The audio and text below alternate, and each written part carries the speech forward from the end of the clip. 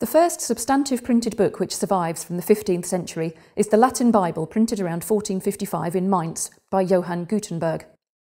We know that printing had taken place earlier. A fragment of a Sibylline book, for example, has been dated to 1452 to 3, and a series of indulgences printed in Gutenberg's type is dated 1454 and 1455.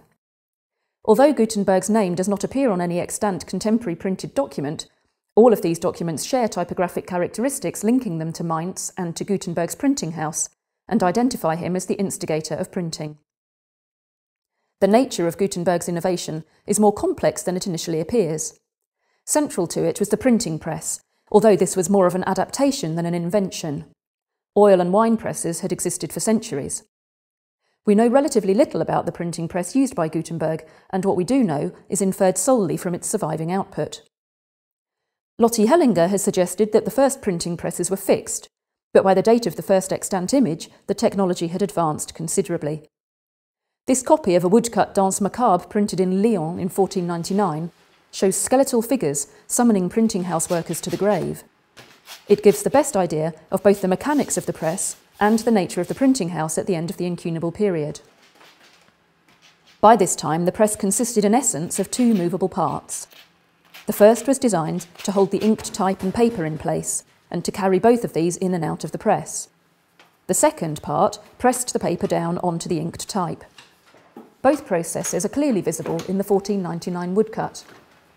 The carriage can be seen half in, half out of the press, and the pressman's arm has been pulled from the handle which will work the spindle, pressing the heavy flat hardwood platen down onto the inked type and paper to take an impression.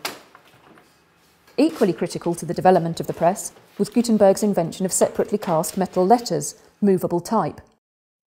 Arguably, the invention of movable type was the most significant innovation of the 15th century. The production of multiple copies of each letter of the alphabet in upper and lower case, with an attendant set of numbers, punctuation, and symbols, allowed printers to build up words, then lines, then pages set in type, pages which could be inked and used to print multiple identical copies. Crucially, these typeset pages could then be washed of ink, broken up, and used to make other words, lines, and pages. Using a master copy of the text being printed, teams of men called compositors would select letters and spaces from a carefully arranged typecase to build up words and lines in a composing stick. When the stick was full, these lines were transferred to a flat tray called a galley, where they were built up into pages.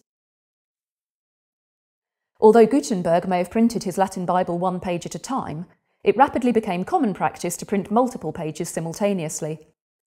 Depending on the number of pages to be printed per sheet of paper, the compositors placed the typeset pages into a specific order and orientation, then locked them onto an iron frame with wooden wedges to create a form. The orientation of the pages was critical. Each piece of paper would have two forms, one to print each side. If the imposition of the individual pages was incorrect, the wrong pages might back onto each other, or pages might appear upside down. Although compositors were extremely skilled, mistakes were frequently made. This is an example of a sheet from an early 16th century almanac, discarded as waste paper because it was incorrectly imposed. 15th century printers made superb dark black inks using varnish and lampblack.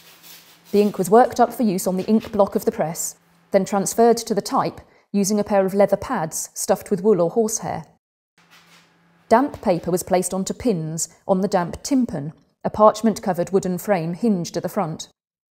A frisket was then lowered over the paper.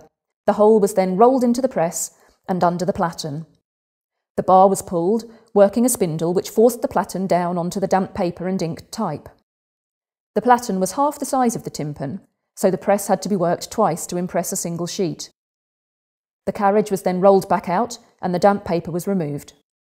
This process would print one side of one sheet of an edition.